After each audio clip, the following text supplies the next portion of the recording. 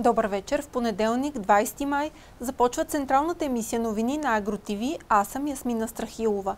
Вижте по-важните теми от деня. Как оцеляват розопроизводителите без държавно и европейско финансиране? Липсват експерти в научната работа с животните.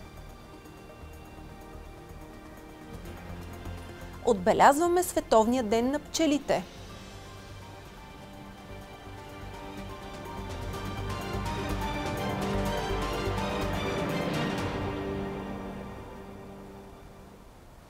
Розопроизводителите все още не получават държавно европейско финансиране.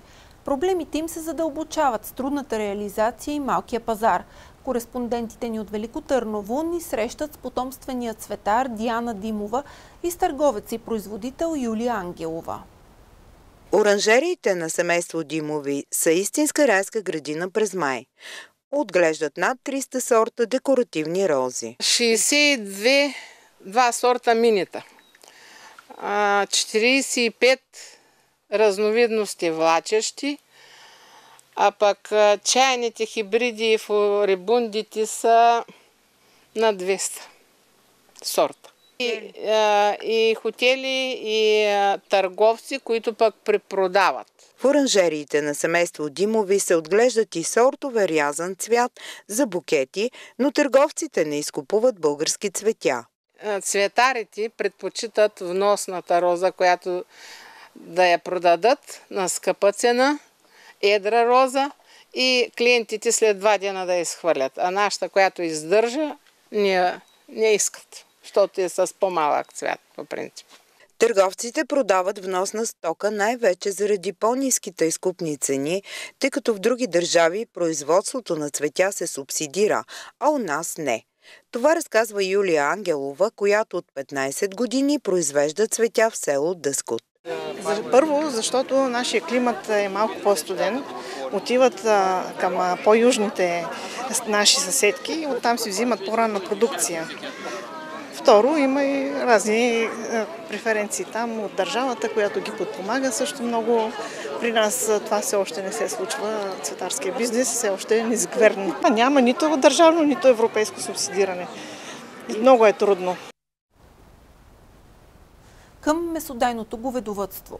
Месодайното говедовътство е рисков сектор, но с добро планиране и желание семейство доказва, че може да развие успешно и продуктивно стопанство – Водим ви в село Василовци, област Драгоман, при семейството на Валя Борисова, което отглежда стада с лимузин и българско черно-шарено говедо. С упоритост, много труд стопаните успяват да поддържат двете стада. Като начало са доста скъпа инвестиция, защото не можеш да си купиш готови крави или много рядко можеш да си купиш готови даващи телета. Започва се с е такава големина телета, ако успееш да си намериш или някъде ти ходатайстват или с години записване ти дадат, на това теле 6, 7, 8 месечно ще му трябва поне още 18 месеца да порасне. През това време никакъв приход. След това да бъде заплодено с подходящ хубав, скъпо струваш бик, изчакаме още 9 месеца, да има теленце, всичко да се случи нормално, теленцето да бъде родено, да бъде отгледано, още 8 месеца да порасне телето и едва тогава ще бъде готово за продажба. Значи тези две години и половина или почти три от това животно ти нямаш никакъв приход, имаш само разходи. Ние членуваме към Асоциацията на МГБ-то, Асоциацията за месодайно говедовътство в България. А, при тях са ни животните по селекционен контрол лимузин и съответно Асоциацията на черношарено говедо в Русе. Там са ни селекционните крави черношарените. Какво означава да сте членове на такива организации?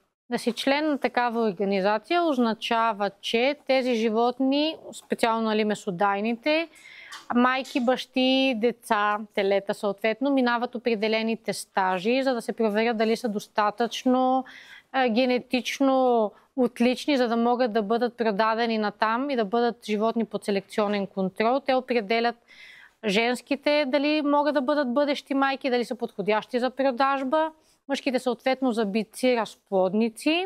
Когато кандидатстваме когато изчертаваме площи и заявяваме животни, селекционните животни са по-добре подпомагани.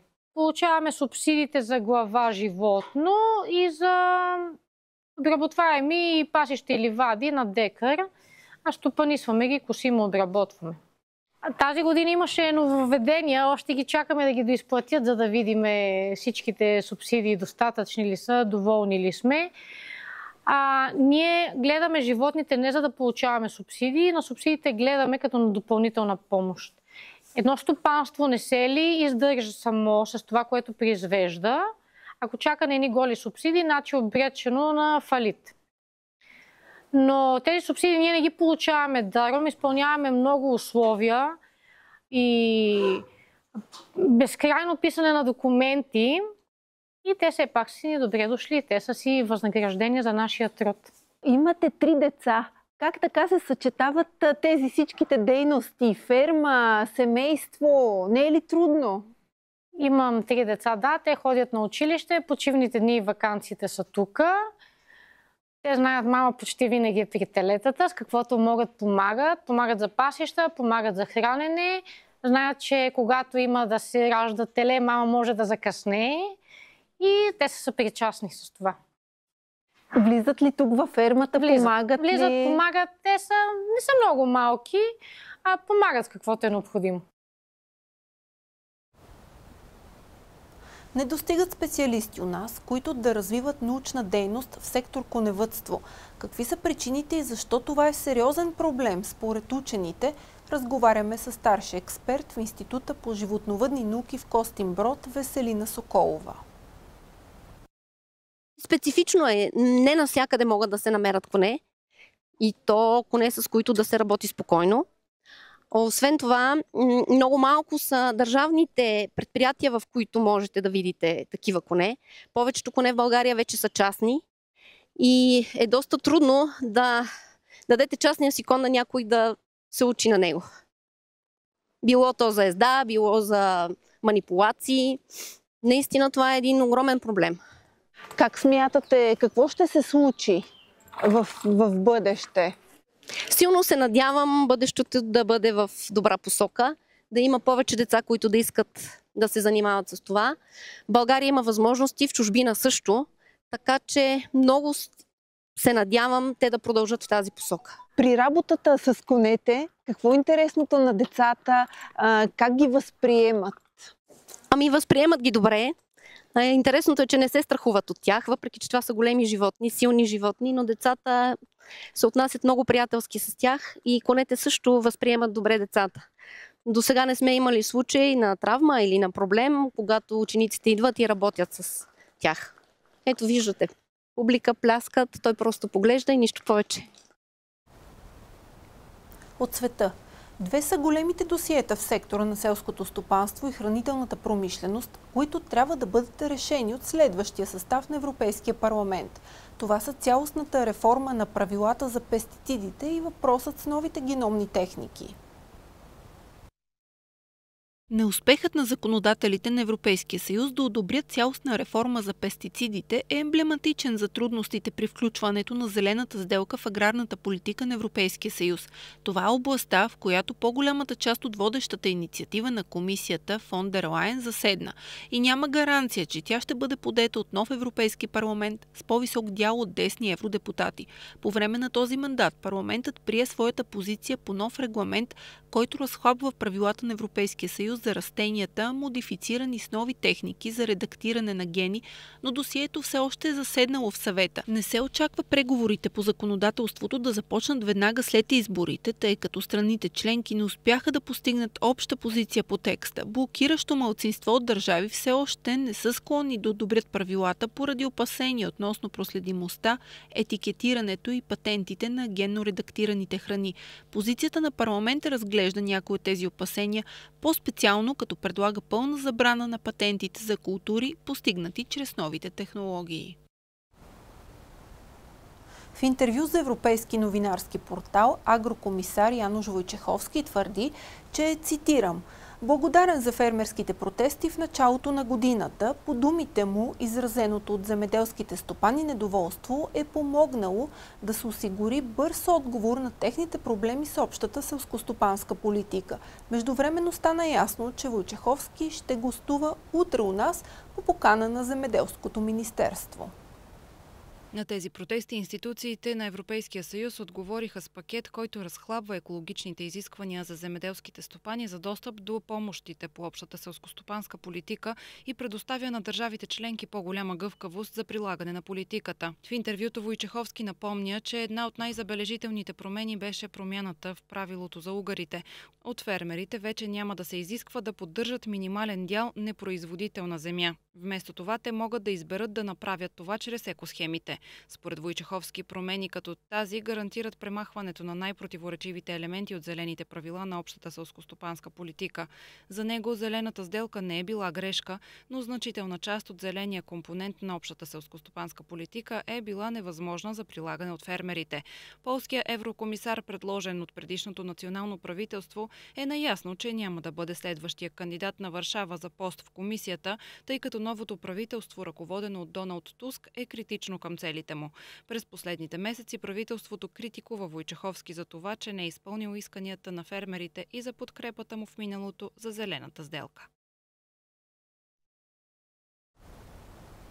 Шест месеца след парламентарните избори в Нидерландия, преговорите за съставяне на ново правителство най-после стигнаха до успешен край.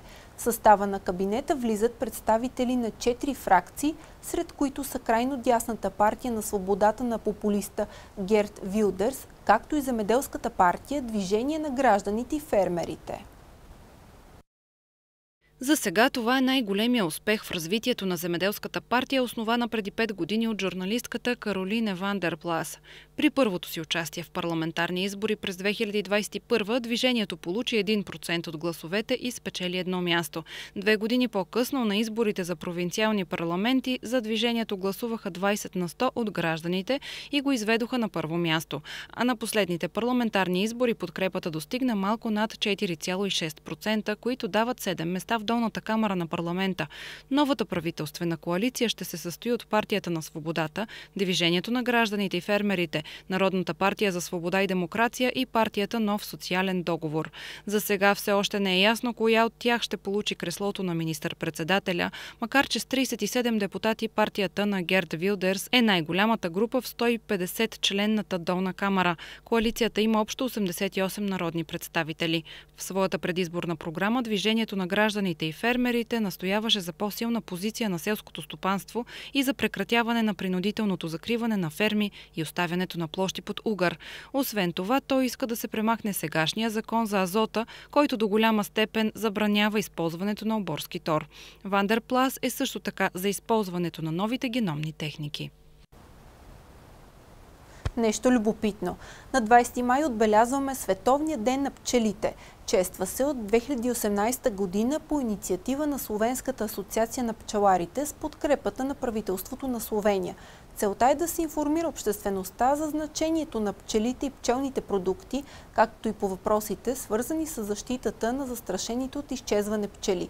По този повод ви разказваме и за предстоящата международна среща и състезание на младите пчелари. Чуйте още! Международната среща на младите пчелари е състезание, което се организира от 14 години в Европа, като неговото, неговите основатели са една нестопанска организация, занимаваща се с младите пчелари в Чехия. А, състезанието е международно, всяка година участват между 20 и 30 държави. Ние като асоциация на организациите на производители на, пчел, на мети пчелни продукти в България решихме, че ще организираме за първи път тази година състезанието в България, като ще бъдат проведени две регионални състезания и едно национално. Ще отразяваме всяко а, едно събитие, свързано с това а, състезание, провеждането му е на българска територия и всъщност а, от името и на Българската академия на пчела, по пчеларство ще развиваме нататък заедно с колегите и дискусионни теми. Ще обобщаваме, ще анализираме, ще показваме една прекрасна инициатива, която трябва да намери място стабилно в живота на българската пчеларска гилдия. agrotv.bg е нашият сайт. Можете да следите най-актуалното от сектора и лесно да ни спращате снимки, видеали, сигнали. Прогнозата за времето ще научите от Деси Димова. Спокойна вечер!